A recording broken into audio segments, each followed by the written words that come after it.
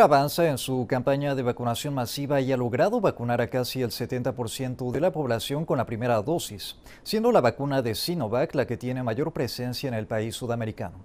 Recientemente arribó el mayor cargamento de vacunas enviado por China. Más detalles a continuación.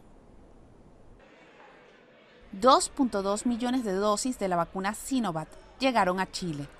Se trata del cargamento de vacunas contra el coronavirus más grande que ha arribado al país suramericano.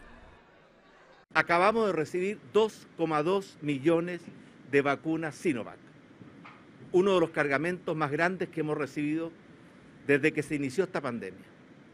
Con este cargamento ya hemos recibido más de 29 millones de dosis de vacunas, que forman parte de los 40 millones de vacunas que nuestro país ha asegurado mediante acuerdos, negociaciones y contratos con los laboratorios más prominentes del mundo y son estos 40 millones de vacunas la que nos permite poder asegurar que tendremos las dos dosis para vacunar a todas las personas que quieran vacunarse.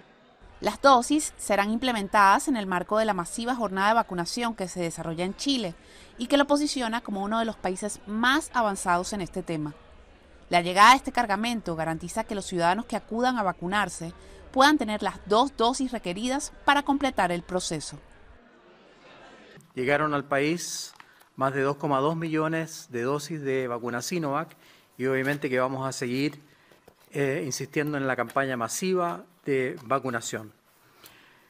Esto se refleja en la entrada de pacientes a las unidades de tratamiento intensivo y en la media móvil de los últimos siete días se observa una disminución de menos 33%. La vacuna del laboratorio Coronavac es la que tiene mayor presencia en Chile y ha demostrado ser efectiva en un 89% para evitar hospitalizaciones en unidades de cuidados intensivos y en un 80% de muertes. Al menos los grupos de mayor edad, que son los primeros vacunados, los adultos mayores, la tasa de infección, el contagio y el ingreso a unidades de cuidados intensivos ha disminuido, de lo que uno podría deducir que la vacuna está siendo muy efectiva.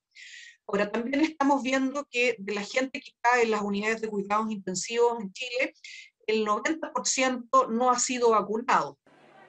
Hasta la fecha, casi 8 millones de personas en Chile han logrado completar el proceso de vacunación, pero aún falta trabajo por realizar para bajar las cifras de contagios que se mantienen en el país y para alcanzar la llamada inmunidad de rebaño, que el Ministerio de Salud estima lograr para el mes de junio.